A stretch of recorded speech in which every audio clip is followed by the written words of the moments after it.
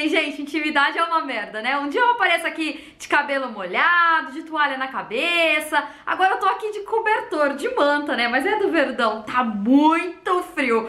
Mas com frio frio a gente vem trazer informações do Palmeiras e tem informações quentes. O frio tá frio, mas a informação é quente. Então fica comigo até o final, quero saber sua opinião. Lembrando antes, gente, que esse vídeo aqui é patrocinado pela Jaf Assiste, uma corretora que traz um bilhete premiável aí da seguradora Capemisa, gente. E com um único bilhete, gente, você concorre a 4 mil reais toda semana durante o ano todo. Sabe por quantos? Por apenas R$29,90. É isso, gente. Você paga R$29,90 uma única vez e você concorre aí semanalmente.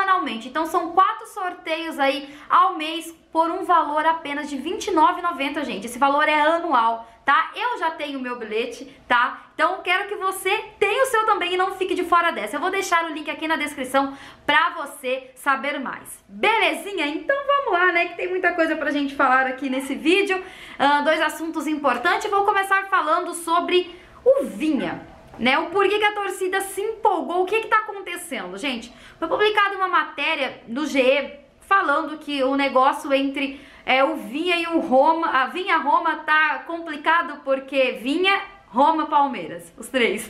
Tá complicado porque assim, até agora nem o Palmeiras anunciou a saída oficial do Vinha e nem a Roma anunciou a chegada oficial do Vinha, né?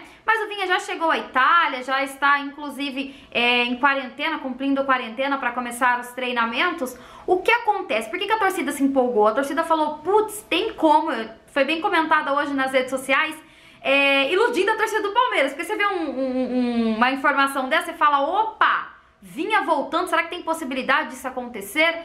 E aí o pessoal comentou bastante, por quê? Porque, gente, vocês sabem que a, a Roma tem que pagar cerca de 66 milhões aí, né? São 11 milhões de euros.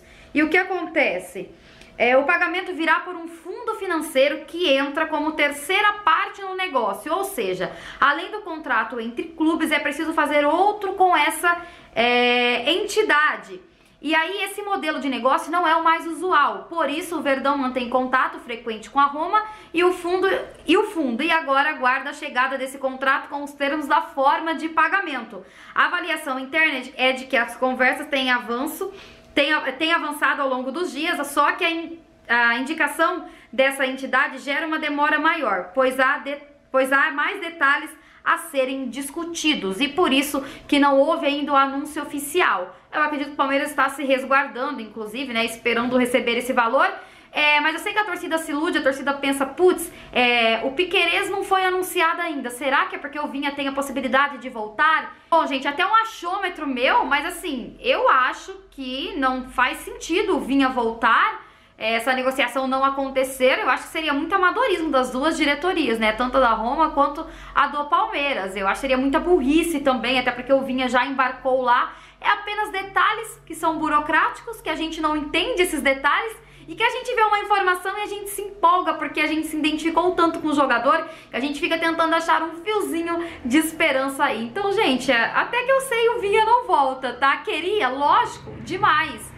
É, aí vocês vão me perguntar, mas a gente tá contratando o Piquerez, e aí, Cássia? Né? Dá pra deixar o Vinha lá. Só que eu acho que era melhor ter o Vinha de volta, né? Se fosse para escolher, porque a gente já sabe como que é o Vinha com a camisa do Palmeiras, já, já conhece a casa, enfim. Mas é, isso não vai acontecer. Infelizmente, gente, isso não vai acontecer. Provavelmente aí até amanhã, é sábado, né? Ou até segunda-feira, acredito que esse anúncio deva acontecer. E um anúncio junto com a do Piquerez. Eu acho que tá, tá. Eu acho que vai vir uma jogadinha de marketing ali do Palmeiras, gente, tá?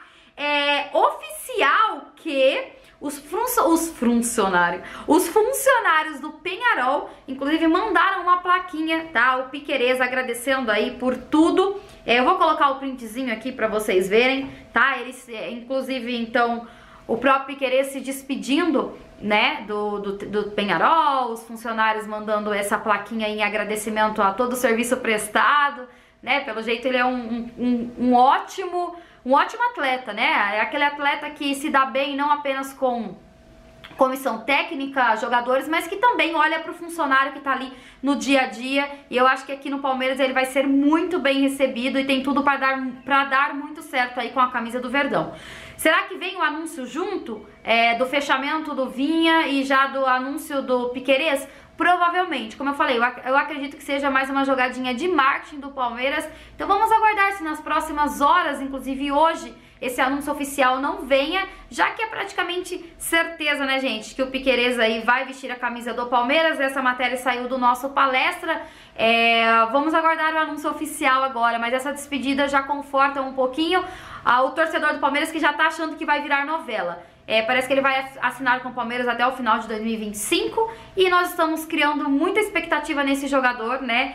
E tomara, né, que nos próximos dias o Palmeiras anuncie ele oficialmente para acabar com essa picuinha, ah, será que essa negociação não vai acontecer? É que eu entendo até o torcedor do Palmeiras. Foram tantas negociações frustradas, né? A gente falava, falava de jogador e não dava em nada, que agora a gente fica com um pezinho atrás mesmo. Mas se o jogador está se despedindo, provavelmente vai ser para jogar no Verdão, né? A não ser que tenha outro clube na jogada aí, né? Bom, eu acho que não. Rapidinho para finalizar o vídeo aqui, é, rolou informação hoje sobre o Borra, tá? Eu nem ia comentar, mas eu acredito que vocês vão perguntar. Cara, você tá sabendo alguma coisa do Borra? Gente, é, eu tô aqui deixando as coisas acontecerem. Por quê? É, foi postado, foi, é, saiu, um, acho que na ESPN, no próprio GE mais cedo, que tinha um clube aí da Europa interessado no, no Borja. E agora de tarde saiu que o Grêmio também está interessado no Borja. Fora o Boca que já se interessou pelo Borja. Então assim, cada hora aparece um clube interessado no Borja. Pô, se tem tantos clubes assim interessados no Borja, então deixa o Borja aqui, porque estão enxergando um Borja que eu não conheço, né? Então vai tem que ficar aqui para ajudar o Palmeiras. É, eu até acho difícil o Palmeiras liberar, é, apesar de que eu tava lendo, inclusive, a, a reportagem falando que o Grêmio queria, uh, o Borja e tal, que o Felipão que pediu, e o Palmeiras é, impôs aí, né, algumas, algumas coisinhas. E parece que o Grêmio ficou de, de ver para dar a resposta do Palmeiras, enfim. Mas eu acho estranho porque pela manhã saiu que um clube da Europa estava interessado. Agora que o Grêmio, é, outro, há poucos dias atrás o Boca Tá tão difícil a negociação assim com o Borja porque ninguém quer comprar, todo mundo quer empréstimo, e o Palmeiras não quer empréstimo, o Palmeiras quer vender. Enfim, gente, vamos aguardar para ver. Mas como eu falei, eu prefiro esperar o, o, andamento da situação. O Anderson Ball já deixou claro que quer negociar o Borja, né? A gente já sabe isso. É, mas o jogador falou que está focado em jogar aqui. Hoje, é, não seria o Grêmio, não, a gente falar, ah, vai reforçar um, um rival aqui, enfim. Hoje o Grêmio não briga por nada, né, gente? Principalmente no Campeonato Brasileiro, mas se o Borja for pro Grêmio, tem o ano que vem. Como será? Né? Nós enfrentaremos o Grêmio uh, durante esse ano, acho que ainda no Campeonato Brasileiro, né? Mas a gente enfrentará o Grêmio o ano que vem novamente, né? Então, assim, será que o Palmeiras vai liberar ele mesmo pro Grêmio? Vamos aguardar para ver. Eu só sei que tô achando tudo muito estranho essa situação. Cada hora é um clube novo interessado no, no Borja e não consegue sair essa negociação.